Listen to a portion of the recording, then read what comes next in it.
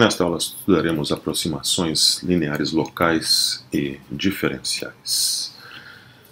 Então aqui temos uma situação de um gráfico da uma função diferenciável, contínua diferenciável no ponto x0, naquele ponto de coordenadas x0 e f de, f de x0, está ali desenhada a reta tangente à curva y igual a f de x a equação daquela reta tangente, sabemos muito bem como encontrá-la, está ali ela, lá em vermelho, y igual a f de x0 mais f' de x0 vezes x menos x0. A inclinação dessa reta é dada pela derivada no ponto x0. Podemos ver aí visualmente que se eu pegar um valor de x, bom, essa reta coincide com a função no ponto x0, primeira observação, né? porque a tanto a reta quanto a curva passam pelo ponto x0 f de x0. Então, se x é igual a x0, as, tanto a função quanto a reta produzem o mesmo valor, que é f de x0. Mas se eu pegar um valor de x bem próximo de x0, a reta vermelha e a curva em azul não terão muita diferença. Então, a reta em vermelho pode aproximar a curva em azul. Claro que se eu pegar um x muito longe de x0, aí essa discrepância, o erro, né, vai crescer muito e o valor da aproximação não será importante, né? terá um grande valor. A aproximação será boa né, se o x for escolhido muito próximo de x0. Então, essa, isso é o que nós vamos chamar de aproximação linear local em x0. Dizer que a função f de x é aproximada pela reta tangente né, no ponto x0. f de x0 mais f' de x0 vezes x menos x0. Aqui eu tenho a função e a função é aproximada então pela reta tangente. Quanto mais próximo x estiver próximo de x0, melhor será a aproximação.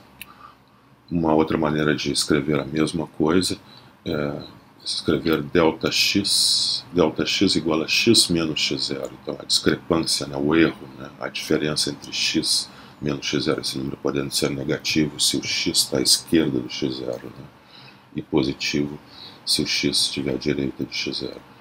Então se delta x é igual a x menos x0, então x é x0 mais delta x. Então substituindo ali na equação, eu vejo que, então, ao invés de x, eu escrevo x0 mais delta x, e ao invés de x menos delta x, ao invés de x menos x0, perdão, eu escrevo delta x. Então, está aí uma, uma outra maneira, uma maneira equivalente de escrever a mesma coisa. Então, essa, essa nossa, nossa segunda fórmula, quanto quanto menor o valor de ΔX, que é a diferença entre x e x0, então quanto menor ΔX, melhor é a aproximação. Vamos fazer um exemplo. Então vamos pegar a função raiz quadrada de x e vamos aproximá-la no ponto x0 igual a 1. Então vamos encontrar a aproximação linear local da função f de x igual a raiz de x em x0 igual a 1. Depois nós vamos usar essa aproximação linear local para aproximar o valor numérico da raiz quadrada de 1,1.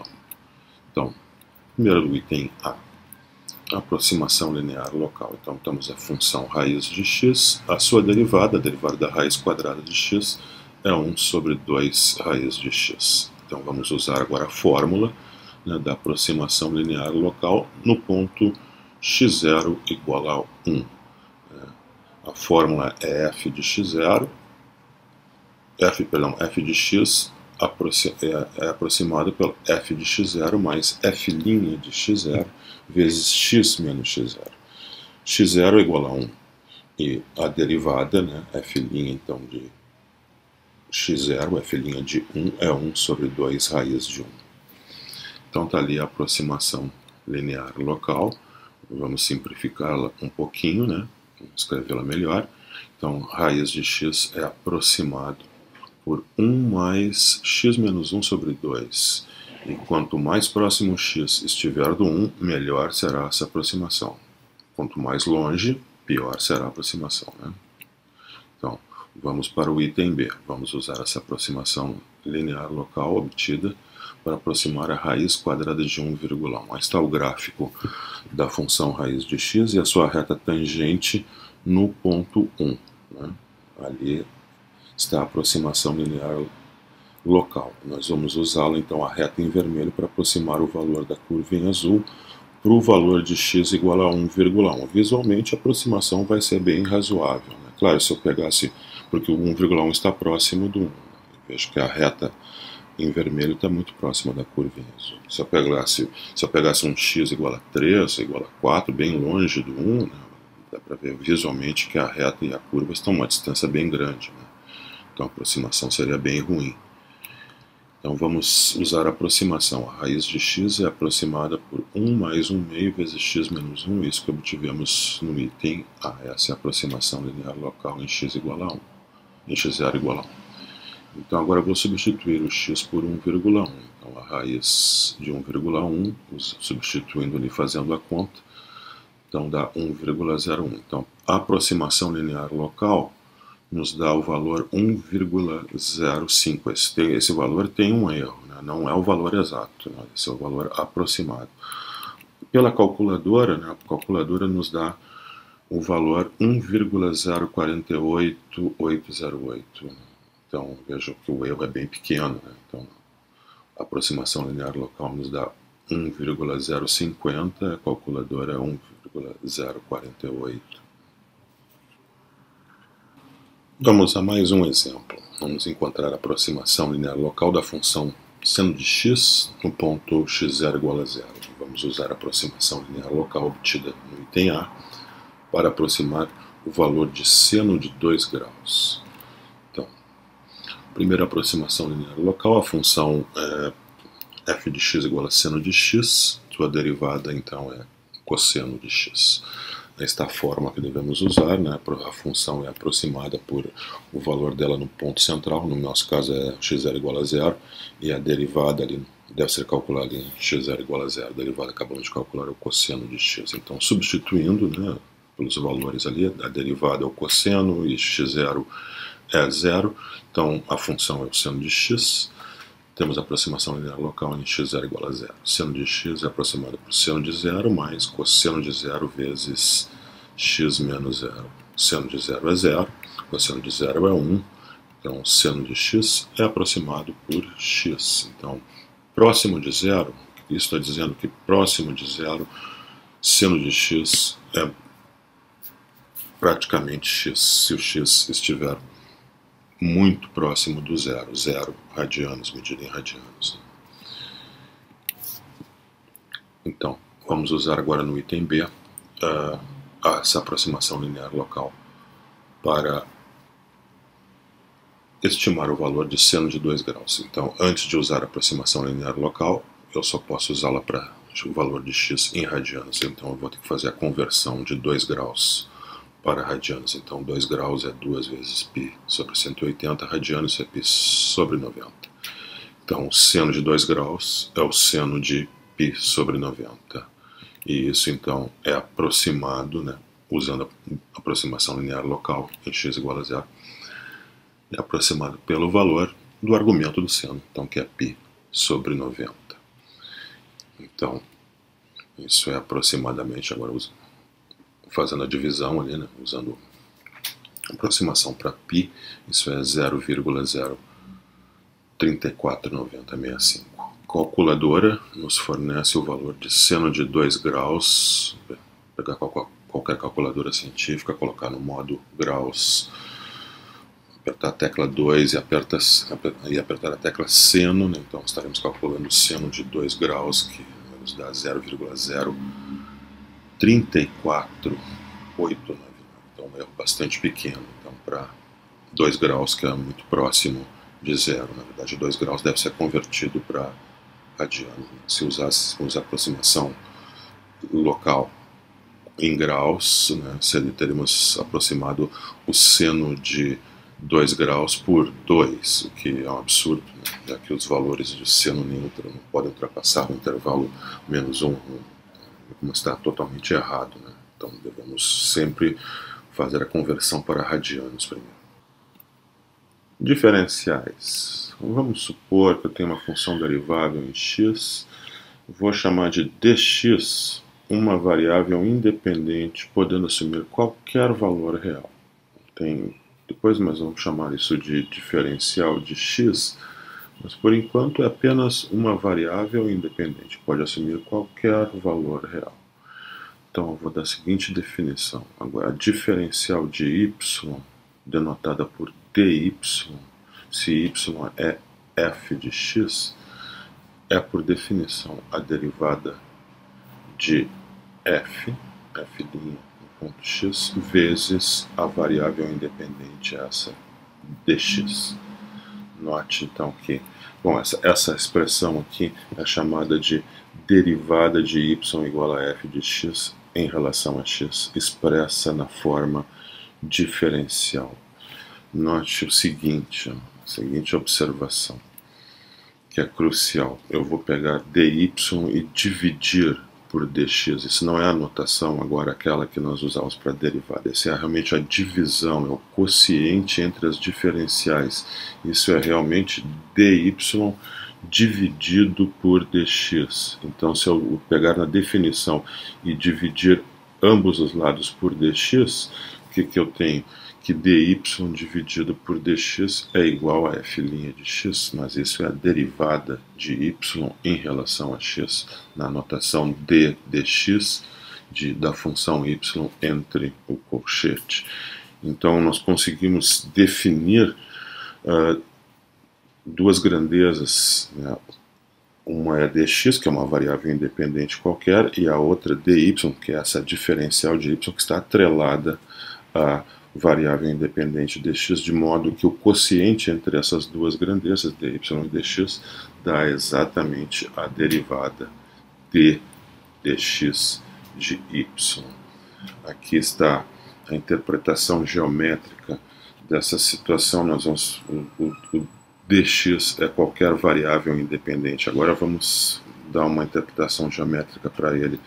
Vamos interpretá-lo como um avanço do ponto x para o ponto x mais dx aqui no eixo do x. Então eu tenho o gráfico da função em azul, curva y igual a f de x, em vermelho a reta tangente à curva, ao gráfico da função no ponto x, no ponto ali, x genérico qualquer.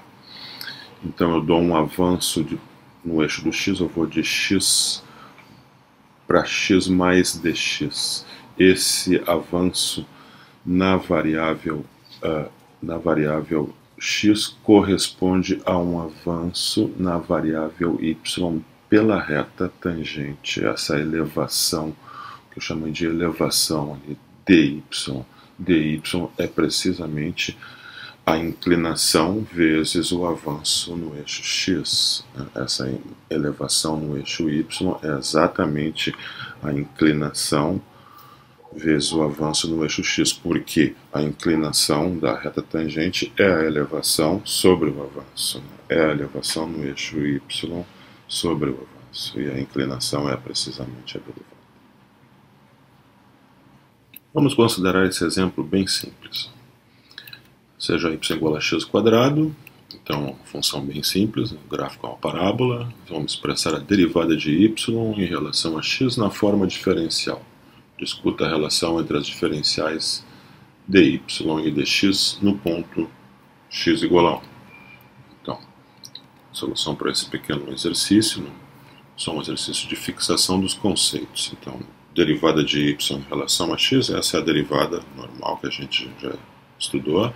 Derivada de y, dy dx é 2x. Derivada de x ao quadrado. Derivada de y em relação a x na forma diferencial é só escrever essa mesma relação na forma diferencial e dizer que dy é igual a 2dx, 2x dx. No ponto x igual a 1, dy é igual a duas vezes dx. Isso significa que uma variação de dx unidades em, no eixo x produz uma variação de duas vezes dx unidades no eixo y. Aqui o gráfico da parábola, a reta tangente a curva, a parábola no ponto x igual a 1, né? ali está em vermelho a reta tangente, então eu dou uma variação de dx igual a 2 unidades no eixo x, isso corresponde a uma variação de 4 unidades no eixo y, isso para a reta tangente. Para a função, a variação é um pouquinho maior, né? veja que a reta tangente ainda falta um pouco para atingir a função, né? a variação da função de um ponto para outro. Né? Então, essa aproximação vai ser cada vez melhor né? à medida que o dx é muito pequeno, à medida que o dx se aproxime do zero. Agora aqui num caso mais geral, tem uma função f de x, num ponto x qualquer, e ali está a aproximação pela reta tangente, né, em cinza, a reta tangente. Eu estou fazendo aqui o, o, avanço no eixo x, eu, eu, eu chamo tanto como delta x como dx, tanto faz. Então eu estou fazendo delta x igual a dx. Isso corresponde a uma elevação pela reta tangente dy. dy é igual a f' de x vezes dx ou Δx, tanto faz, né? já que eles são iguais. E também tem um, uma, uma diferença nos valores da função 1 delta y, que é a diferença entre o, o valor final e o valor inicial da função. Né? E a, e isso é, pode ser aproximado, esse delta y, pode ser aproximado pelo dy se o dx for suficientemente pequeno, é o que nos mostra a figura ali, mais ou menos. Então, delta y é a variação ocorrida em y, né, começando em x e movendo-se ao longo da curva, né, então, até que sejam percorridas x igual a dx unidades no eixo x. Já dy é a variação ocorrida em y, começando em x e movendo-se ao longo da reta tangente, que sejam percorridas dx igual a delta x unidades do eixo x. São o que está mostrando ali na figura. Né?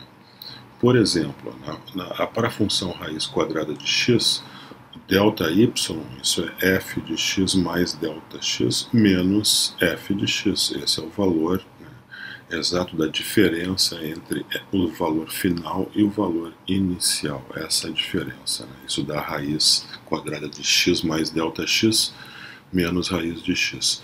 O dy é uma aproximação dessa diferença. Né? O dy é uma aproximação do delta y, desde que o delta x seja suficientemente pequeno dy é f' de x vezes dx. Então, isso é 1 sobre 2 raiz de x dx. Por exemplo, no x igual a 4, no ponto x igual a 4. Então, eu faço x igual a 4 e agora eu vou dar o avanço delta x ou dx igual a 3. Esse é um avanço um pouco grande demais para a aproximação ser razoável. Né? Só, pra, só a título de ilustração, vamos fazer as contas aqui delta y, então é 4 f de x mais delta x, ou f de 4 mais 3, né, raiz quadrada de 7, menos a raiz de 4. Então isso dá aproximadamente 0,6457.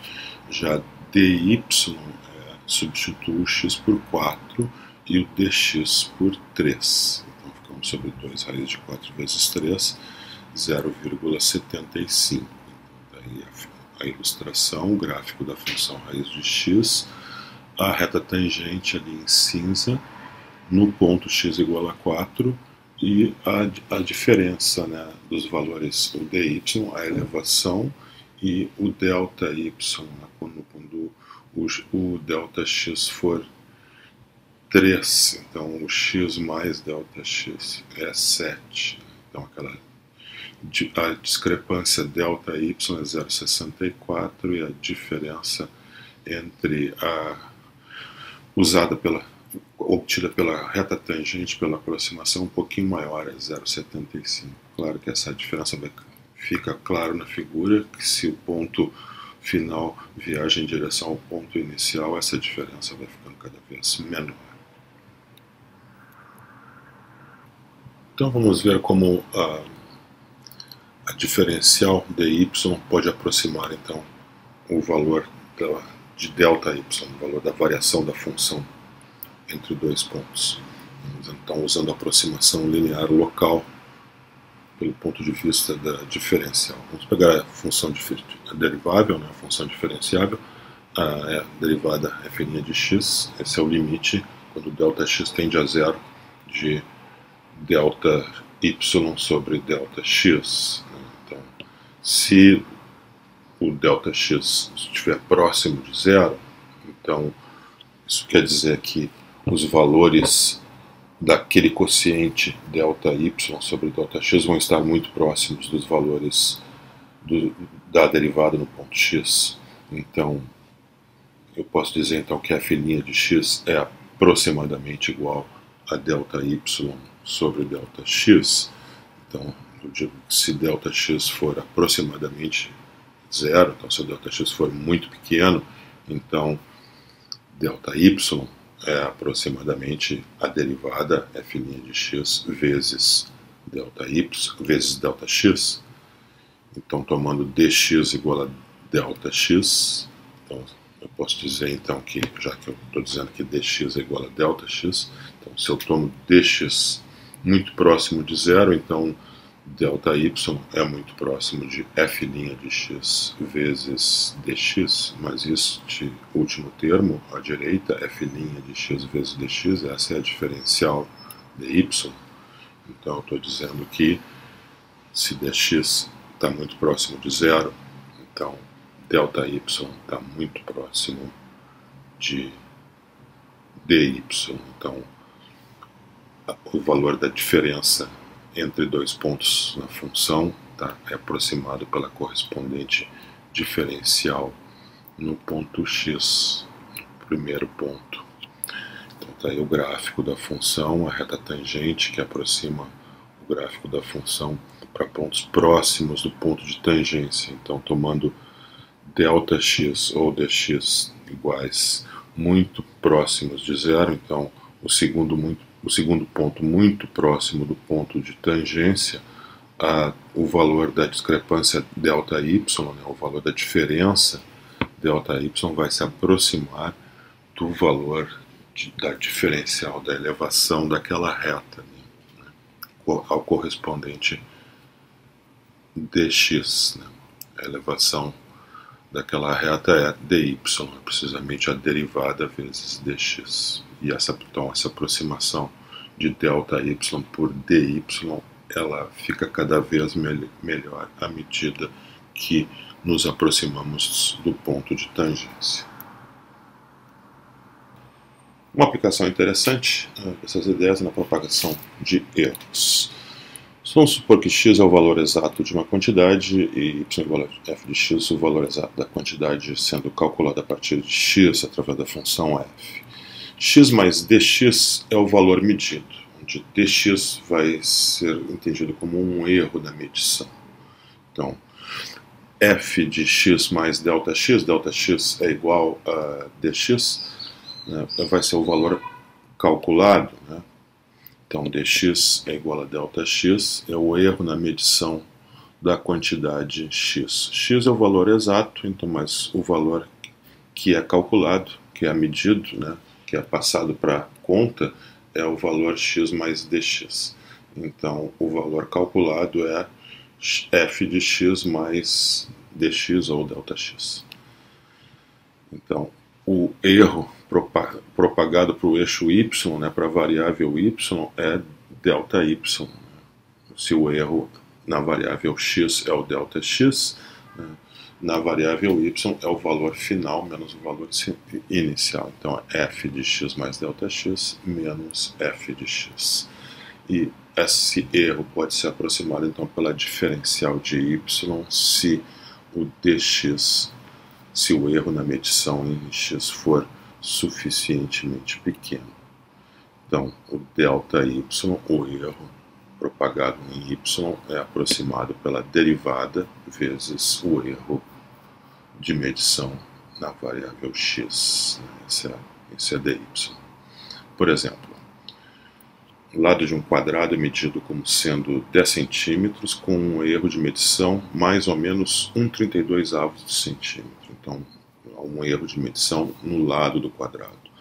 Vamos fazer uma estimativa para o erro da área, né, na hora de calcular a área do quadrado. Então, nós temos aqui o quadrado com lado x e a área, consequentemente, com lado x ao quadrado. Né.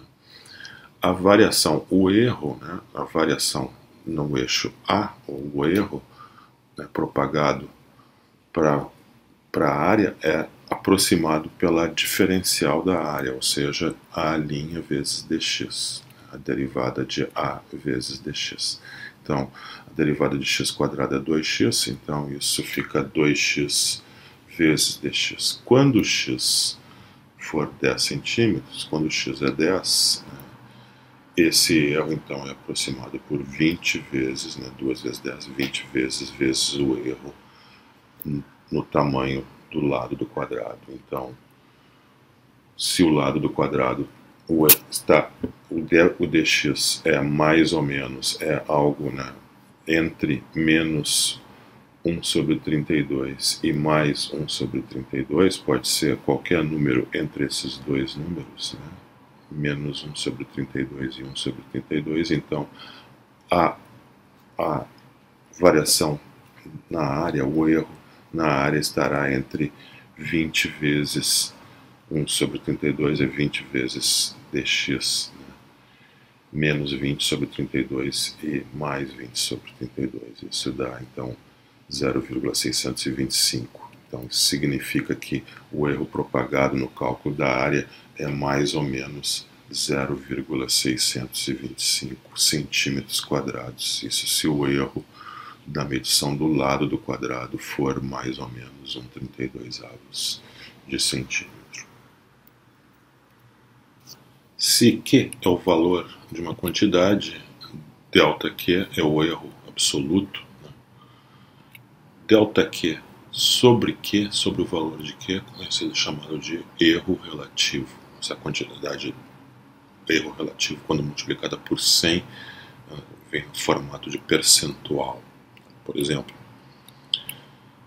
o diâmetro de uma esfera de poliuretano é medido com um erro percentual entre 0, entre mais ou menos 0,4%. Eh, Obtém uma estimativa do erro percentual no volume da esfera. O erro percentual, então, é o erro relativo em percentual, né, multiplicado por 100. Então, vamos resolver esse problema da seguinte maneira. Vamos chamar de x o diâmetro da esfera e v é o volume da esfera. Então, se x é o diâmetro, é o raio sobre 2, a fórmula para o volume da esfera, né, 4 terços de π vezes o raio ao cubo, né, ou seja, o diâmetro sobre 2. Então, simplificando ali, tenho a fórmula para o volume da esfera em função do seu diâmetro. Então, v como função de x é π vezes x ao cubo sobre 6. A derivada de v, então, é só derivar, né? fica π sobre 6 vezes 3x2, que simplifica então para πx quadrado sobre 2.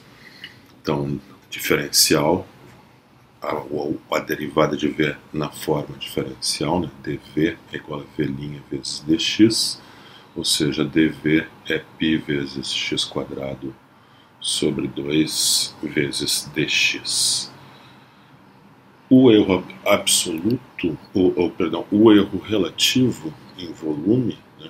então delta V sobre V, então, é o erro relativo em volume, vai ser aproximado então por dv sobre v, já que nós aproximamos o erro absoluto pela diferencial de, da função.